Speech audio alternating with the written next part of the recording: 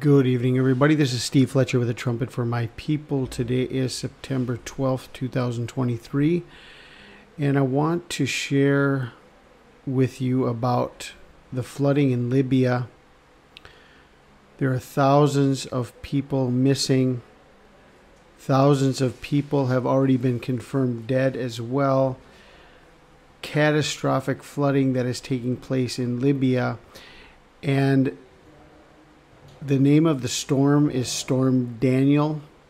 Storm Daniel in Libya. And I see something in the book of Daniel, and just before Michael stands up in Daniel chapter 12, one of the last places mentioned in Daniel chapter 11 is actually Libya. Daniel chapter 11 talks about Libya and it talks about the time of the end. And then Michael stands up right there at the beginning of Daniel chapter 12. So before we get into uh, the scripture I want to share with you, let's just take a look at a few of these, uh, a little bit of this video footage from the Libya flooding caused by Storm Daniel. Now to breaking news overnight from the North African country of Libya, which may be dealing with an unthinkable loss of life. The Red Cross now says around 10,000 people are missing there after a powerful storm caused two dams to collapse, sweeping away entire neighborhoods on the country's Mediterranean coast. Searchers have yet to make their way to some hard hit areas. This is the same storm system that caused devastating floods in Greece last week.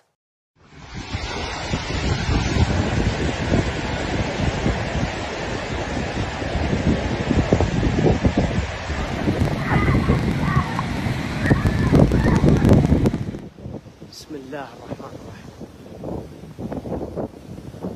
الرحيم. ها في جسوه هذا وادي وهذا وادي. هاك تصور. هذا وديين وهذا المحقن وهذيك طريق كانت تجي لعند الطريق هذ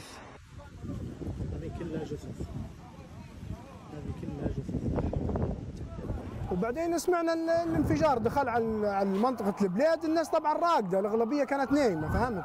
ما فيش حد كان مستعد.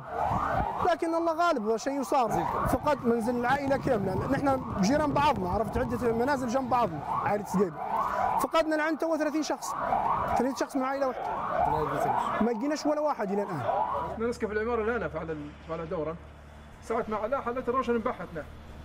طبعا أول ما هجمنا هجم الاعصار اللي جاء. سيارات كبار وهايله وسيارات لا الأحمر وضي ضوم مشني ضوم في المية. العلو ورقاه المبنى طبعا المبنى هذا المبني اللي هنا قريب ثلاثة متر. العمارة نحن اللي في الدور الأول اللي عندي قريب الدور الثاني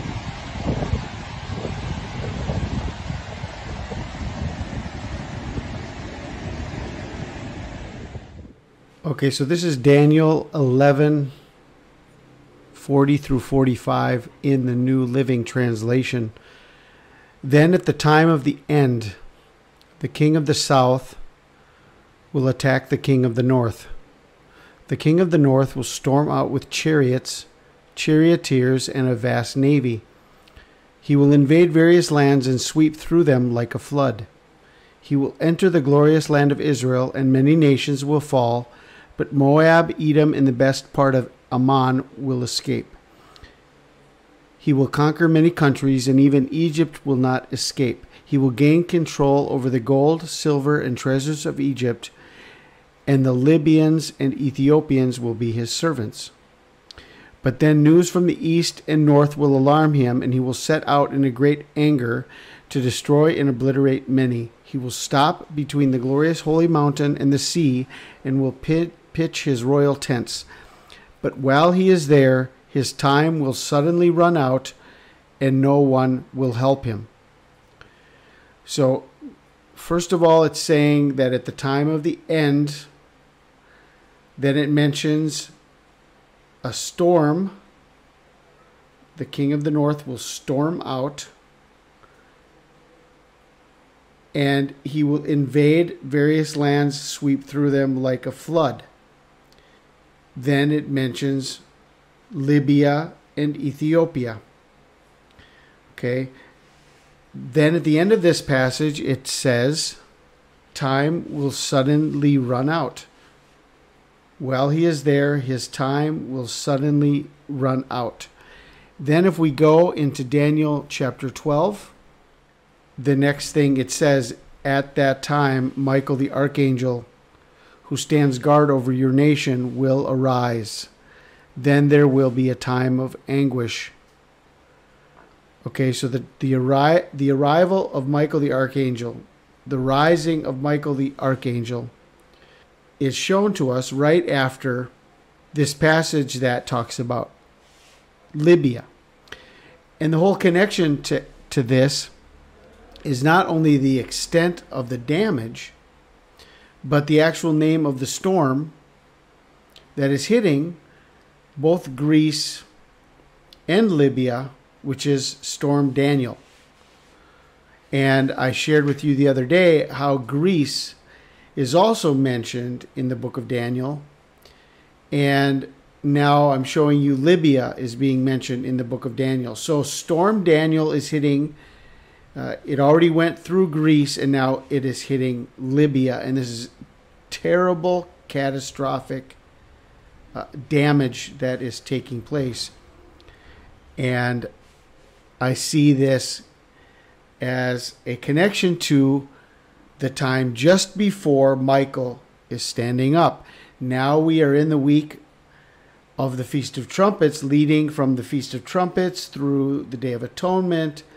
Then comes the Feast of Tabernacles, and here we are leading up to the Fall Feast. And right now, we have Storm Daniel hitting. So, this is just another sign of all the other signs that we are seeing connected to where we are right now, leading up to the fall feasts on God's holy calendar. Now, this passage really caught my attention in Acts chapter 27, where it mentions not only Libya, but it also mentions the Day of Atonement, the fast day, which was the Day of Atonement. Starting in verse 9, this is the New King James Version, starting in verse 9, Acts chapter 27. Now, when much time had been spent, and sailing was now dangerous because the fast was already over, Paul advised them, saying, Okay, now much time had been spent, sailing was now dangerous because the fast was already over. The fast refers to the Day of Atonement. Men, I perceive that this voyage will end with disaster and much loss, not only of the cargo and ship, but also our lives. Nevertheless, the centurion was more persuaded by the helmsman and the owner of the ship than by the things spoken by Paul. And because the harbor was not suitable to winter in, the majority advised to set sail from there also, if by any means they could reach Phoenix, a harbor of Crete opening toward the southwest and northwest, and winter there. When the south wind blew softly, supposing that they had obtained their desire, putting out to sea, they sailed close by Crete. But not long after, a tempestuous headwind arose called Euroclydon, or the northeaster. So when the ship was caught and could not head into the wind, we let her drive. Running under the shelter of an island called Clauda, we secured the skiff with difficulty. When they had taken it on board, they used cables to undergird the ship, and fearing lest they should run aground on the Syrtis sands, they struck sail and so were driven. The Syrtis Sands, or Syrtis Major, is a body of water in the Mediterranean Sea on the northern coast of Libya.